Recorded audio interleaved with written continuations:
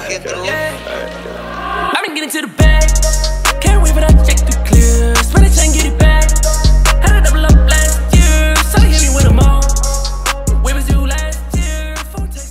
What is up you guys? Stevie here. Welcome back to my YouTube channel. In today's video, I'm gonna do a part two of a video that I did a while back. If any of you guys are just regulars to the channel and if you've just been keeping up with the videos, then you would have seen I did a video, something titled along the lines of my favorite up and coming brands slash most underrated brands that you need to check out. So like I said, in today's video, I'm just gonna do a continuation of that with a part two. As you guys can see from the rack behind me, we have a banger assortment of just a bunch of pieces from again those up and coming brands that I personally have just been really enjoying as of late. These brands right here aren't necessarily anything new, but again they are new to me and they are just brands that I feel you know are a little bit more low key, again up and coming and just brands that I feel like you guys are gonna like because I think it's safe to say and it's safe to assume that if you're watching this video, you and I kind of have, or I would like to think that we have similar taste and we like the same stuff. So hopefully in today's video, you guys can kind of just catch a little bit more inspo and just kind of catch a feel of, again, just some things and some brands that I've been really liking as of late. We got some accessories to cover. We got some bags, some clothes, of course,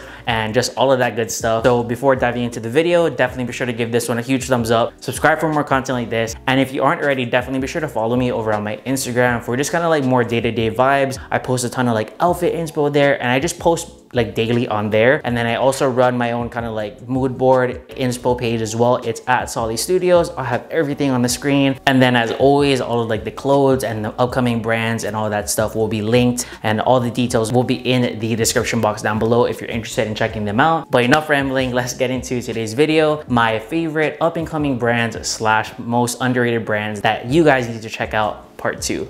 All right, you guys, so starting off this video right here with brand number one, I'm gonna be talking about a brand that, again, isn't new to the whole scene, but it is a brand that I've had my eye on for a really long time. I'm gonna be talking about Heliot Emil. So if any of you guys are just like, you know, into fashion and you kind of keep up with like brands and stuff like that, Heliot Emil, in my opinion, is what I would like to call a contemporary, elevated, luxury streetwear brand. They have just a ton of unique pieces that's really big on like the hardware, bunch of like, again, chunky silver metal detailing. And I feel like the best way I can describe that brand is they take a classic silhouette and they almost kind of like deconstruct it in a way that, again, it looks a little bit more contemporary. And they add, again, a ton of just like chunky silverware, hardware detailing, which I'm personally a fan of. I feel like when it's done right, it can really, you know, be a vibe and it can definitely be a banger. So with that being said, this bag right here is from, again, the Heliot Emil brand. This right here is their box carabiner bag. This, in my opinion, is one of their most iconic items that they offer. A very interesting and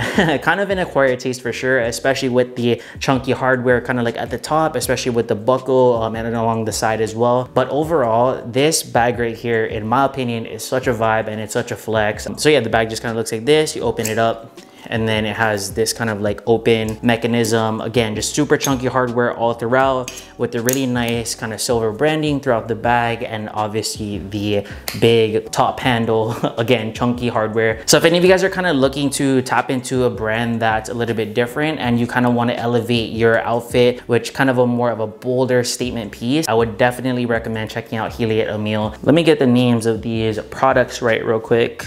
Probably should have done this before but it's fine all right, you guys, coming in at brand number two, this brand right here, I actually talked about in my last video, but I wanted to mention them again because for one, they just came out with their recent collection. And two, I humbly believe that this collection right here is their best work yet. I'm gonna be talking about 90ZBACK. So for any of you guys who didn't watch that first video, 90ZBACK is essentially what I like to call another streetwear brand from UK, but they have kind of a more like minimal, I would say contemporary take to their items and their garments about just like muted tones and tonal outfits and just very simple silhouettes that are elevated. Kind of like what I'm wearing right now. This is just a suit set from again 90ZBACK in a really nice like interesting blue colorway. But they took just a classic blazer and they made it look more interesting, especially paired up with the shorts that I'm wearing as you guys can see like from the b-roll clips. And yeah, I just feel like they do that kind of stuff really well. Again, just an interesting, contemporary, minimalistic take on the everyday classics. And I just love everything about it. I feel like like the fit is on point and I personally love the kind of like blazer mixed with the short combo. I feel like that's a really nice touch. A couple more items that I wanted to feature in this video right here, again from their latest collection, is their trucker set. So this right here is the trucker jacket in butter. As you guys can see, it's just a simple standard, what I would like to call just like an everyday jacket. It almost kind of looks like the silhouette of a denim jacket, but obviously not in denim. It's in this really nice, very flowy, but yet at the same time, nice and thick and heavyweight material, if that makes sense. Like I feel like this is the perfect garment that you can wear kind of end of summer and it can easily transition to like early fall, mid fall. It doesn't come with, but it is styled and paired up with their flowy oversized trousers. As you guys can see, this right here is just called the trucker trousers, again in their butter colorway. So ideally it would kind of go like this together. And I just personally really love everything about this set right here. I feel like the jacket is so well done. It's nice and oversized, all the while being cropped, which is something that I personally really like. As far as the trousers go, they definitely are long and oversized and flowy, but that's kind of the point. And not to mention like the tones and all that stuff is really well done as well. And then just a couple pieces that's also from their latest collection are these vests right here. These are called the second skin vests and they're basically just really tight tank tops. Personally, they didn't fit me that well, um, not gonna lie, but they are really nice and they're really, again, just a very thick, heavy material. And I feel like with some, on the right build, these tank tops can look really nice. So I might do a little giveaway with this, like not sponsored or anything. Yeah, I'll do a little giveaway with this. So peep the description box for the rules if you guys are interested in winning these like 90ZBACK vests. I'll just make it really easy. So um, check out all of the information in the description box. So this next brand right here is nothing new to my channel, but it is a brand that I haven't mentioned in a really long time. I will always be a fan of them. I love all of their stuff and I've sported their pieces on this channel time and time again, especially like last year. I'm gonna be talking about a brand from Portland, Oregon called Kozha Numbers. So this piece right here is a bag from Kozha Numbers. Kozha Numbers is what I would like to call a very interesting I hate like that I keep using the same words, but the best way I can describe it is like it's another contemporary brand that specializes in handbags. They have a wide assortment. And as I mentioned on this channel, I featured their bags like time and time again. I feel like their bags are so unique. It's so interesting to look at. And I just feel like no one does interesting bags like that. But in the same breath, it's like simple. It doesn't like do too much. And I just feel like their bags are kind of like a work of art. Clearly I'm getting gassed up about just a bag, but like, it's not just a bag, it's Prada. It's not just a bag, it's Prada. Anyways, going back to what I was saying, Kozha Numbers, solid, solid, solid brand that just again designs and creates a ton of very special bags that are unique. And not to mention Kozha Numbers is a all female owned brand, which is amazing. Support the ladies where we can. All right, you guys, reaching the home stretch. This next brand is kind of a little bit different. Like it's not clothing, it's not accessories. It's more of like a lifestyle brand in my opinion. I'm gonna be talking about a LA based brand called Grams 28. So Grams 28 is essentially, well, let me show you what the item looks like. So this is my new MacBook sleeve right here, which is again from Grams 28. It's in this really nice, well-made quality leather. As you guys can see, it just has the very subtle branding like at the top says Grams 28. And then they offer like personal engraving for their items and they have a wide assortment of leather goods. They have like AirPod cases, they have again laptop sleeves, iPad sleeves, phone cases, wallets, all of that good stuff. I think the best way that I can describe this brand is like if Common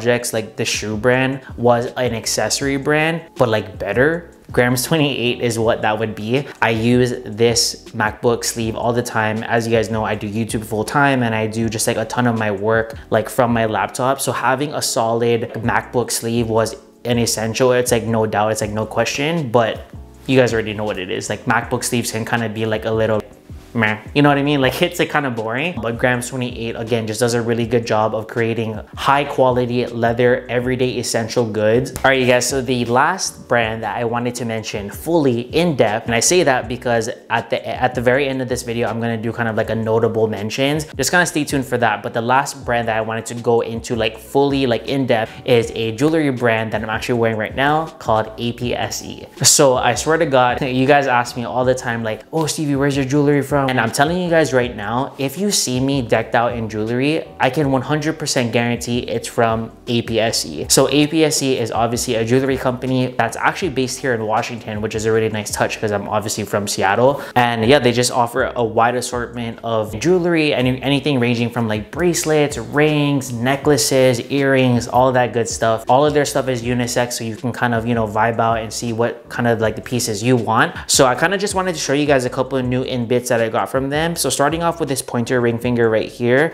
as you guys can see, it's a really big, chunky piece of a ring with a nice kind of like flat moment like in the front. I really like this ring as a pointer ring finger because it's a nice substantial piece paired with something a little bit more daintier such as the pinky ring that I have on right now. It has this kind of just like chain like design to it obviously both in silver because I'm really big on silver jewelry but they do like gold, rose gold, gunmetal, all that stuff. All right so before we wrap up this video I wanted to give just like a little shout out and a little notable mentions to three other brands that I want to talk about. The first notable mention that I have is a brand brand called Illicit Block. Essentially, in my opinion, a luxury sportswear brand from the UK. They just recently came out with like their suit, their like tracksuit set and it comes in like a gray and a white. And I actually was supposed to get one from them, but then like things just didn't really align and stuff. So I kind of missed the window. But nonetheless, I wanted to show them love in this video right here because I feel like that brand is gonna do really well. Excited to see what they have in store.